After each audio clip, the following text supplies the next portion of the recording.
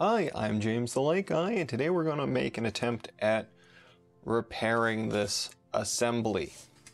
So, a bit of delay on this video because I had ordered a set of these replacement LEDs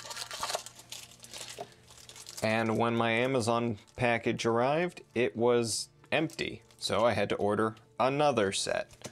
Uh, Amazon did refund me for the missing set, but it did still cause a delay in producing this video. So first thing we got to do is try and remove these, hopefully without damaging this side since it came out so well and I don't want to start over completely. So eye protection on, let's get to it.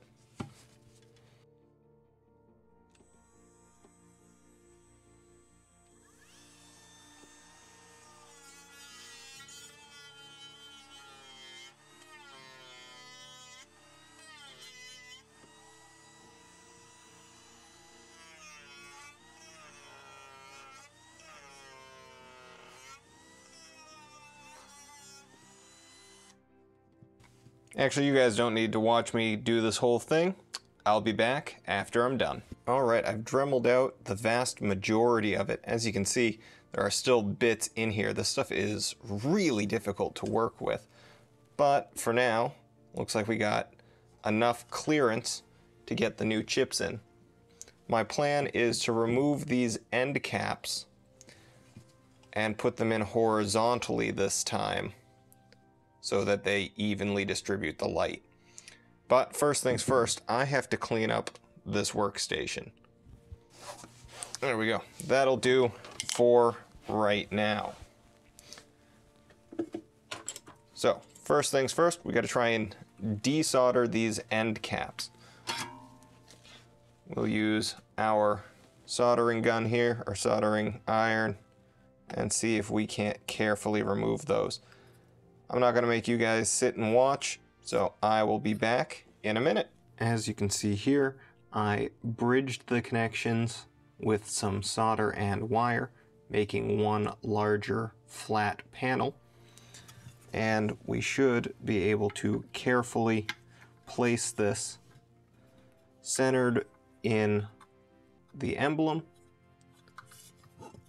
so that it gives light out of both eyes.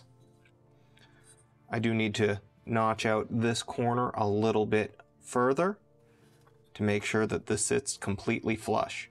And then we'll clean this up real nice and get to epoxying. As you can see here, we have soldered on our lead wires and it works perfectly. We do have one stressful part left and that is lining this up so that we don't get too much light out of one eye. If we perfectly center it and press it in place, as you can see, we get an even distribution of light in both eyes. So that's the goal. Let's see if I can do that with the epoxy. First, we'll disconnect all these wires, zoom out, and mix up some epoxy. Same plan as normal. We're going to mix up quite a bit of the epoxy, probably not the whole thing this time, but a decent amount.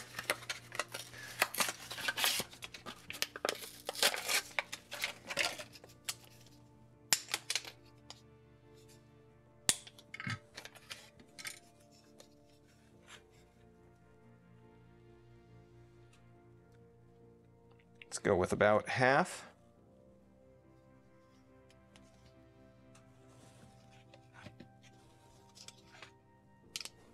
A little back, there we go.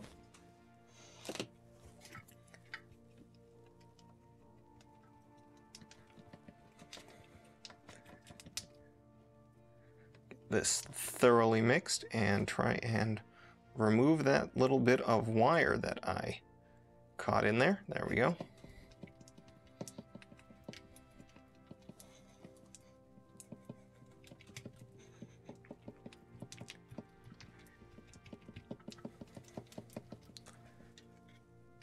All right, let's go for it. Peel this paper away.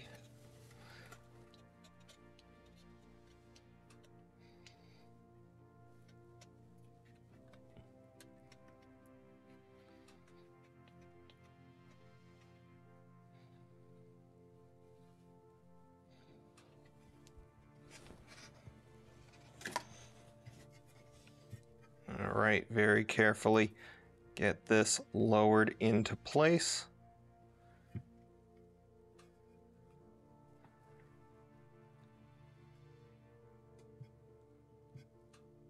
And use the extra epoxy to help hold it in.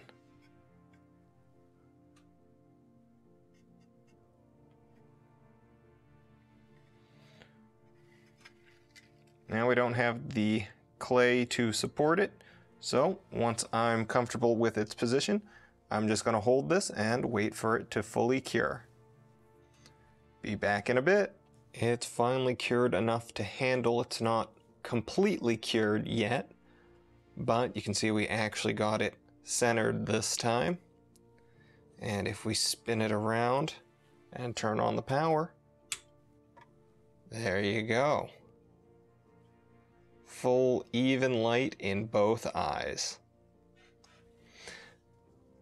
I still have to contact my colleague, find out if he wants it coated black or if he would prefer for it to remain with these off clear eyes.